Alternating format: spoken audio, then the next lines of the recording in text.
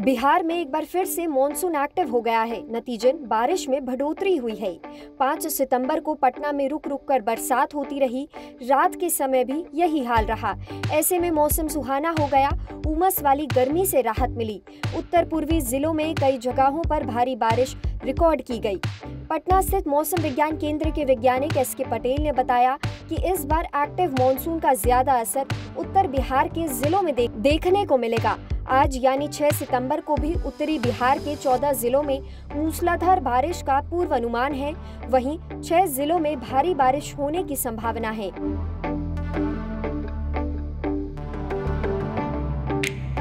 वैज्ञानिक एस के पटेल के अनुसार बंगाल की खाड़ी में लगातार कम दबाव का क्षेत्र बन रहा है, लेकिन इसका बिहार पर कुछ खासा असर नहीं पड़ेगा।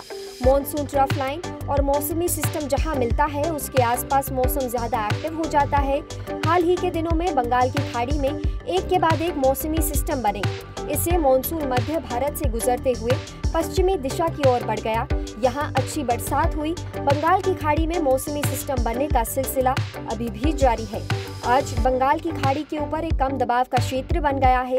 उत्तर आंध्र प्रदेश एवं दक्षिणी उड़ीसा तटों पर सात किलोमीटर ऊपर एक साइक्लोनिक सर्कुलेशन फैला हुआ है। ये आज उत्तर की ओर आगे बढ़ सकता है।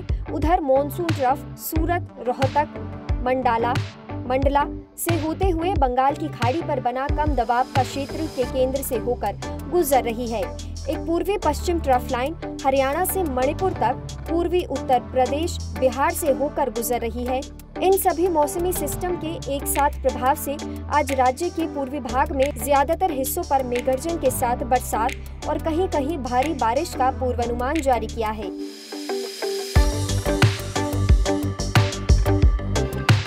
आज यानी 6 सितंबर को पश्चिम चंपारण, पूर्वी चंपारण, सीतामढ़ी, शिवहर, मधुबनी और गोपालगंज में भारी बारिश होने की संभावना है, जबकि मुजफ्फरपुर, वैशाली, समस्तीपुर, दरभंगा, सहरसा, मधेपुरा, पूर्णिया, कटिहार, सुपौल, औररिया और किशनगंज के कई स्थानों पर मध्यम से तेज बारिश होने का पूर्वानुमान है। बाकी सभी जिलों में हल्की से मध्यम स्तर की बारिश हो सकती है।